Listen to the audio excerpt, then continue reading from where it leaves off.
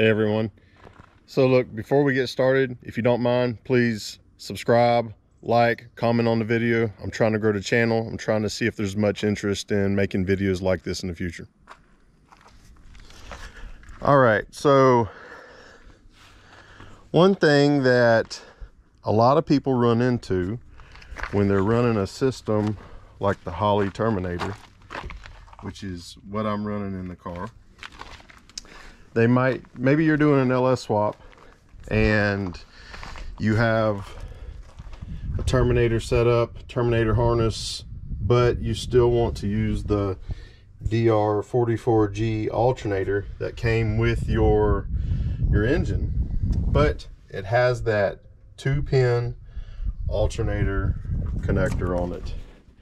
And as you know you have to have the factory GM ECU to control this unit or do you so there's a solution to that you don't have to go back in time to the four pin connector on the older alternators, which just has a feedback loop. You can run this alternator by using a relatively cheap device on eBay.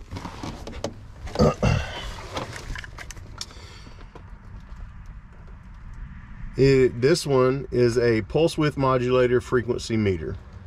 Okay, so it's all disconnected right now it's disconnected so that I can kind of show you the path of wiring or show you how it's connected. All right, so we have the alternator here. We just have a single power wire, power and everything. This goes actually to my uh, starter. Okay, so this is the two pin connector. The wire on the top, the red wire, is the one that I'm using. The white wire is routed inside the car as well, but it's not hooked up to anything. So you really only need this pigtail with this wire, the one that's on the right or the top, to go to the little pulse width modulation device.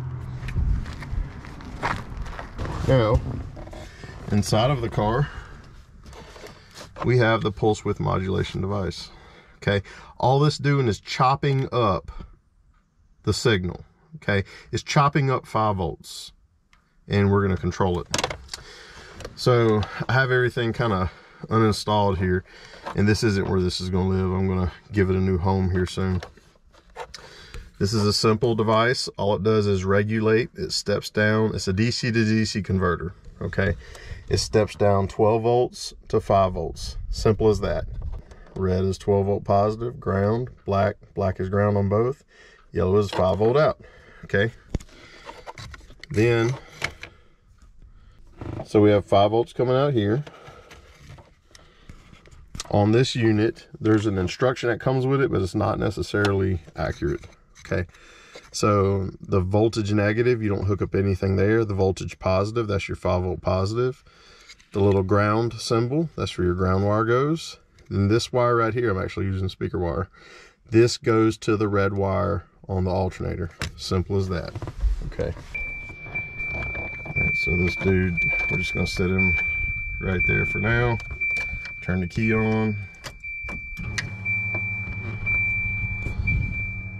ECU's coming on.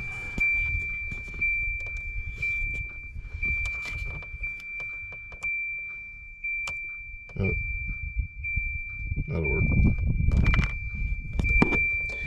So right now we have float voltage on the battery. Okay you set your pulse width modulator, you just hit frequency up and down. You set it to 128 Hertz. Okay, right now the pulse width modulation is set up at 81%. That means that the pulse width, if you had 100% pulse width modulation, there would really be no frequency. It would be high, it would be high 5 volts all the time. If you had 99% pulse width modulation, basically the 5 volt signal would be high 99% of the time and it would only drop down for 1% of that cycle, that frequency. Whatever that, look at this dude getting all up in my face. All right, dude, hop down. Anyways, Uh, 50% duty cycle would be during that time frame that the oscillate, it's not an oscillation, during that time frame that the signal goes from high to low, which is not a sine wave, it's a square wave, and it's not going below the voltage reference point because it's not alternating currents DC. So you're going to 5 volt positive to ground, 5 volt positive to ground to zero, 5 volts to zero, 5 volts to zero. Um, it would go high 50%, low 50%, high 50%. Well, this is high 81, low 19, high 81, low 19. I'm gonna crank up the car.